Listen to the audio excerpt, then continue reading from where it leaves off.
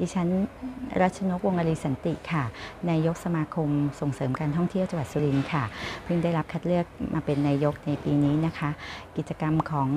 อสมาคมของเราก็มีกิจกรรมมากมายที่เพื่อส่งเสริมการท่องเที่ยวให้จังหวัดสุรินทร์ทั้งด้านโรงแรมที่พักอาหาร ร้านอาหาร ร้านโอท็อปร้าน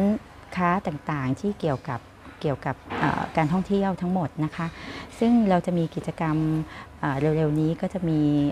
ตักบาตรใส่ผ้าไทยมาตักบาตรเช้าที่ตรงลานพระยาสุรินทร์พักดีค่ะ โดยเราก็จะมีจัดเป็นเซตในการใส่บาตรให้สำหรับนักท่องเที่ยวเลย นักท่องเที่ยวที่เดินทางมาจังหวัดสุรินทร์เนี่ยก็สามารถมาใส่บาตรได้ที่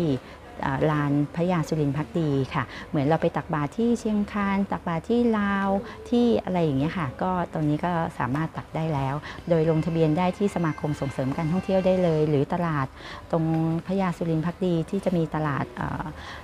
ตรงนั้นอยู่ก็สามารถลงทะเบียนได้นะคะ ค่ะ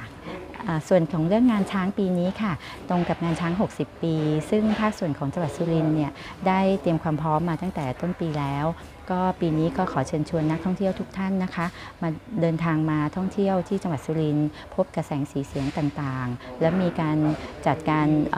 ลดอาหารช้าง แล้วก็มีการแสดงช้างในทุกปี ซึ่งปีนี้ถือว่ายิ่งใหญ่ที่สุดในรอบ 60 ปีเลยค่ะ ก็ขอเชิญชวนทุกท่านนะคะ